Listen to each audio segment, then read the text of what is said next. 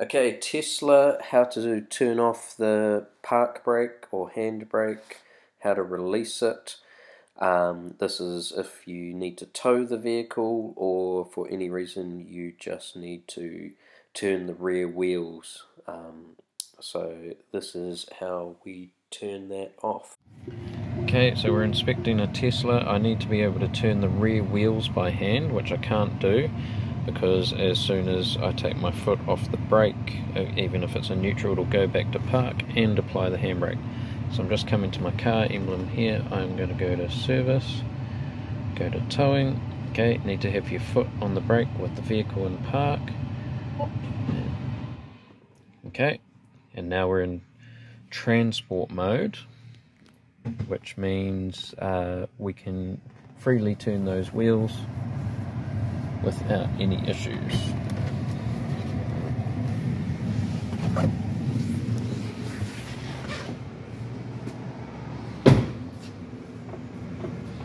Cool, that's what we need to be able to do to inspect the vehicle.